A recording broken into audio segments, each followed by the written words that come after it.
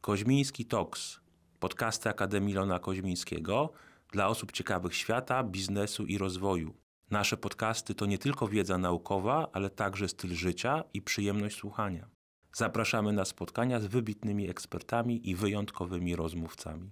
Dzień dobry. Nazywam się Ania Górska i dzisiaj mam przyjemność rozmawiać z profesorem Grzegorzem Mazurkiem, profesorem marketingu oraz z Pawłem Korzyńskim, profesorem zarządzania zasobami ludzkimi, ekspertami od przywództwa cyfrowego. Dzień dobry. Dzień dobry, witamy. Cześć, dzień dobry. Dziś porozmawiamy o Waszym badaniu dotyczącym liderów opinii. Może zaczniemy od tego, co to w ogóle oznacza, że organizacja jest liderem opinii. To organizacja, która jest słuchana, która jest poważana, która ma coś, co w tych współczesnych czasach wcale nie jest łatwe, czyli ma autorytet. E, bo y, organizacji, osób, instytucji, które sprytnie budują zasięgi, a więc teoretycznie mają wpływ jest wiele, ale takich, które równocześnie są darzone właśnie autorytetem, są uznawane za wartościowe, jest wcale nie tak wiele. Także dla mnie to jest kluczową definicją mhm. tego hasła. To jeszcze dodam, że y, przywództwo opinii studiujemy już e, długo. E, ja rozpocząłem te studia będąc już na Harvard University.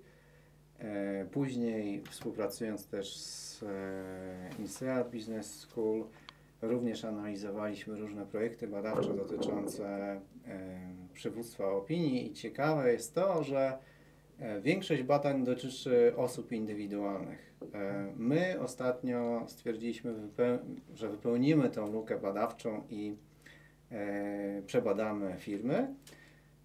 I przeprowadziliśmy całkiem spore badanie, bo na e, około 300 firmach, dużych firmach z listy Standard Poor's, czyli tych największych firm notowanych na New York Stock Exchange i, i, i Nasdaq. I mamy e, bardzo krótko dwa e, interesujące wyniki. Pierwsze to to, że e, przychody firmy są pozytywnie związane z przywództwem opinii, firmowym przywództwem opinii, mierzonym przez liczbę followersów. I drugi, chyba jeszcze bardziej ciekawy wynik to taki, że możemy wyróżnić trzy czynniki, które wpływają na to firmowe przywództwo opinii, ale może o tym, jakie to czynniki, to za chwilę. A w jaki sposób organizacje powinny prowadzić swoje media społecznościowe, żeby stać się takimi liderami opinii i móc czerpać o tych korzyściach, o których pan profesor powiedział? No zasadniczo najczęściej, kiedy myślimy o mediach społecznościowych organizacji, to myślimy w sposób scentralizowany. To znaczy, że organizacja ma jeden kanał na YouTubie, jeden kanał na Instagramie, jeden na LinkedInie, etc. E, a właśnie okazuje się, że gdy spojrzymy na y, swoiste ujęcie sieciowe, czyli na y, spojrzenie na organizację przez pryzmat pracowników, partnerów, e, klientów, no to oni też mogą budować e, ten swoisty wpływ korporacyjny poprzez swoje indywidualne kanały społecznościowe. I w ten sposób, po pierwsze, budują zasięgi w zupełnie nowych grupach docelowych, po drugie, co chyba nawet ważniejsze, uwiarygadniają e, przekaz swoją osobą, bo pamiętajmy, że to jest najważniejsze przy tego typu komunikacji, to znaczy jej wiarygodność, którą zawsze, czyli swoisty branding, który nadawany jest przez, e, przez właściciela danego, danego y, profilu. A taka recepta, krok po kroku, jak organizacje mogą wykorzystywać media społecznościowe? To ja może odniosę, odniosę się jeszcze krótko do, do wyników badania, bo nam e, z tego badania wyszły trzy istotne czynniki. Pierwszy jest związany z treścią, którą dodają firmy, i tu e, zauważyliśmy, że e, treści związane z karierą e, mogą mieć znaczenie, ale niekoniecznie standardowe oferty pracy, które można umieszczać e, w zakładce praca e, na LinkedIn ale ciekawe, ciekawie przedstawione treści um, dotyczące nowych ról, dotyczące nowych możliwości na głównym profilu e, firmy. Druga rzecz, która jest istotna, to reakcje użytkowników, i tu firmy mogą przemyśleć, w jaki sposób te mm, treści tworzyć, żeby były interesujące, żeby niosły jakąś wartość i żeby powodowały e, większe zainteresowanie użytkowników. A trzecia kwestia to profile firmowe. Im większą liczbę pracowników namówimy do tego, żeby założyła swój profil na profesjonalnej platformie społecznościowej, tym lepiej dla firmy i, i lepiej dla jej firmowego przywództwa. I tu jeszcze dodam, tego akurat nie analizowaliśmy, ale w tym badaniu, ale z późniejszych analiz wynika, że istotna jest też taka różnorodność.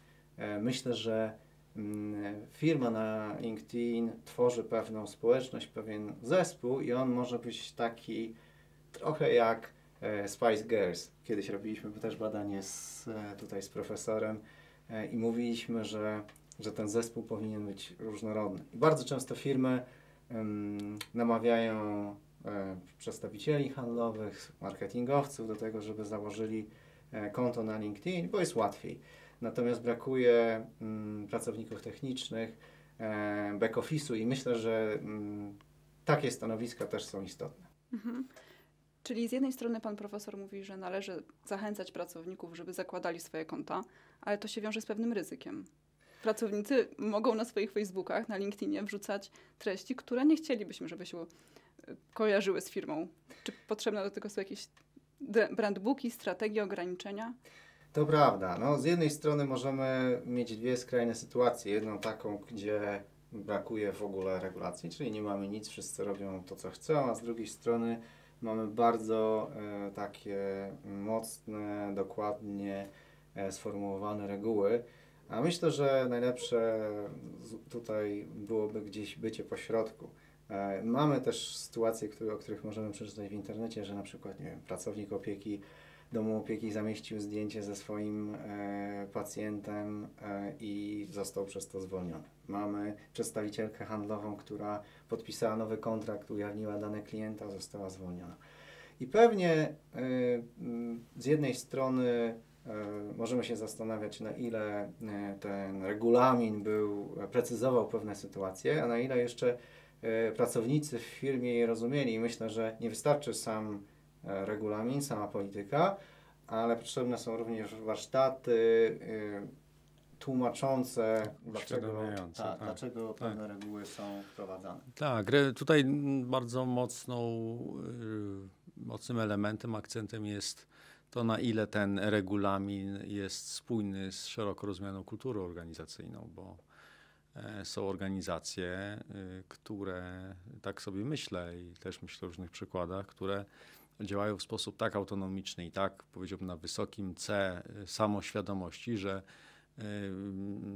podpinania jakichkolwiek regulaminów, których się nakazuje tym, że wysokoświadomym pracownikom robienie czegoś lub nie, no byłoby przyjęte, z, delikatnie mówiąc, z, z, niezrozumieniem, a tak naprawdę byłoby traktowane jako brak zaufania mhm. organizacji, szefostwa, HR-ów, mm, prezesów, prezesek do, do, do zespołu.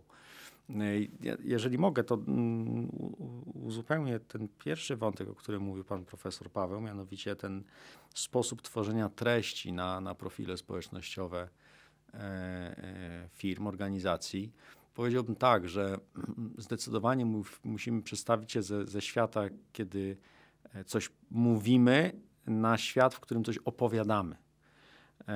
Bo zupełnie inaczej odbierany jest komunikat w cudzysłowie płaski, typu a to jest nasza oferta pracy, mhm. 7 bullet points, zakres obowiązków, versus komunikat, kiedy dany pracownik opowiada o tym, jak jego praca, ta właśnie praca, do której poszukujemy nowego człowieka, E, wpływa na dwie najważniejsze rzeczy e, w organizacji, czyli że e, po pierwsze jest ważna, tak? a po drugie przynosi konkretną wartość dla organizacji. Tak? Tutaj wracamy trochę do tych słynnych badań pokazujących, dlaczego pracownicy chcą pracować. No po pierwsze chcą czuć się częścią organizacji, która robi coś ważnego i lub sami robią coś bardzo ważnego, tak? mają poczucie misyjności.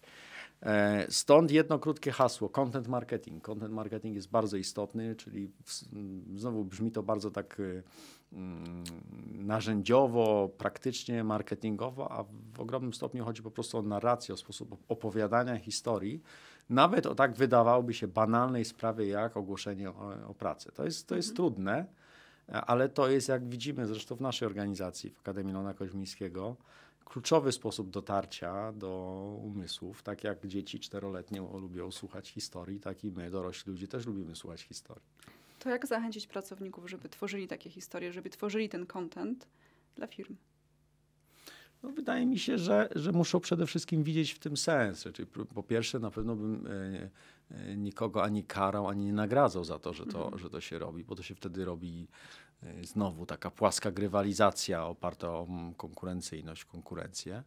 E, myślę, że przede wszystkim muszą widzieć w tym e, jakąś dla siebie korzyść. Tą korzyścią może być e, ten najwyższy stopień piramidy, tak? czyli, czyli taka samorealizacja, szczególnie kiedy, gdy mówimy o etapie social mediów, kiedy to nie jest wrzucony tekst jednostronny, tylko można oczekiwać, że będzie również prowadzona dyskusja, więc myślę, że dla wielu pracowników jest to niezwykle nobilitujące, jak marka, dla której pracują, darzy ich zaufaniem pozwalając na wypowiadanie się w imieniu tej firmy w tematach, na których dany pracownik się zna. Ja tutaj dodam, że myślę, że jest duża rola liderów organizacji, którzy y, mogą wchodzić w interakcje offline i online z tymi użytkownikami i w ten sposób też ich mobilizować do tego, żeby y, chcieli się wypowiadać y, na temat pewnych kwestii firmowych. Myślę, że też, że jeszcze jedna ważna kwestia, bo dużo mówimy tutaj o, o tworzeniu odpowiednich treści i ja czasami zauważam taki schemat, że firma zrobiła bardzo dobrą robotę koncepcyjną, e, właśnie przygotowała pewną, pewien wartościowy content, ale y, dalej tą promocję wokół, e, po dodaniu treści zostawia już mm, samemu sobie. I myślę, że to trochę można porównać do e, pieczenia urodzinowego ciasta. Wyobraźmy sobie, że e, pieczemy ciasto, e, szukamy przepisu i liczymy na to, że nasi znajomi będą pamiętać o tych urodzinach. Wkładamy ciasto do lodówki, okazuje się, że przychodzi jedna osoba, do nikogo nie dzwonimy. I podobnie może być właśnie na, z treściami na LinkedInie. Włożymy w to du dużo pracy, mm, ale nie e, zbudujemy pewnej strategii promocji, nie zaangażujemy osób e, z naszej firmy do tego, żeby e, nakręcić ten, te, te, te treści. I myślę, że to jest, to jest też bardzo istotna kwestia w planowaniu mm, i zakładaniu profilu firmowego na LinkedIn. Musimy też pamiętać o tym, że to, że pracownicy promują firmę, legitymizują ją swoim nazwiskiem, to też jest dla nich pewna wartość. W ten sposób budują swoją markę osobistą. Czy możemy jakoś doradzić naszym słuchaczom, jak mogą budować markę osobistą, żeby nie tylko wspierała firmę, ale też ich samych? No, to już wchodzimy w aspekt y, klasycznej strategii marketingowej. Wybaczmy za to słowo produktu, czyli jak pracownik powinien się pozycjonować e, zarówno w organizacji, jak i na szeroko rozumianym rynku pracy. No i tutaj no, na pewno doradziłbym strategię niszy, to znaczy wyspecjalizowania się w danym temacie, nie skakania z, z kwiatka na kwiatek. Dzisiaj się wypowiadam na temat HR-u, a jutro marketingu, a pojutrze strategii, ponieważ to to jest znowu jak w klasycznym pozycjonowaniu, kiedy mówimy o, o sobie w, w, różnych kategoriach, to z perspektywy użytkownika czy naszego słuchacza nie do końca wiadomo, kim jest ta osoba, więc zdecydowanie strategia e, specjalizacji, strategia niszy i konsekwencji. I na pewno, e, na pewno nie należy się zrażać tym, że w ciągu pierwszego tygodnia regularnego, wybaczcie za niepolskie słowo, postowania, ten przyrost fanów będzie niewielki, bo jak z każdą pracą przynosi sukces po, po dłuższym okresie i wymaga e, bardzo dużego poświęcenia i determinacji i trzymania się właśnie tego obranego kursu. Natomiast oczywiście jest cała masa trików związanych z użytkowaniem, z używaniem określonych haseł kluczowych, z używaniem hashtagów, e, z, z właśnie z odznaczaniem określonych osób. No ale to już chyba nie na potrzebę tego wywiadu, tu po prostu mowa o klasycznym takim warsztacie content marketingowym, albo po prostu, co ja uwielbiam, e, oglądaniu i inspirowaniu się profilami najlepszymi, bo tam tą praktykę najlepiej po prostu widać. A ja myślę, że e, właśnie mm, to, co powiedział profesor, jest bardzo istotne. E, w budowaniu marki osobistej my nie jesteśmy sprinterami, my jesteśmy takimi maratończykami. Jeżeli chcemy coś szybko, e, to bardzo często efekty są wątpliwe. Także musimy się nastawić na, na długi okres, e, być zdyscyplinowanym. A jak ten temat będzie wyglądał za 30 lat? Dziś rozmawiamy z okazji 30-lecia i zastanawiamy się pewnie wszyscy, co będzie za te 30 no, lat. Ja mam takie przemyślenie a propos marki osobistej, że tu niestety pójdziemy w, w, w kolejny etap y, komercjalizacji siebie jako osoba. Krótko mówiąc, myślę, że długiej perspektywie każdy z nas stanie się marką samą w sobie i i będzie ją po prostu monetyzował, tak? Czyli e, to zresztą już się oczywiście dzieje, kiedy mówimy o influencerach internetowych, tylko myślę, że będziemy mieli wszyscy dostęp do, poprzez media społecznościowe do pewnych mechanik, pewnych funkcjonalności, które pozwolą nam bardziej poczuć to, co podkreślam, wcale nie jestem fanem tego, tego myślenia o przyszłości, ale co spowoduje, że będziemy widzieli, że budowanie sukcesu w danym obszarze pozwala nam no właśnie poprzez media społecznościowe na przykład budować sobie dodatkowy model finansowy i właśnie zarabiać na takich opiniach, na, na bycie ekspertem.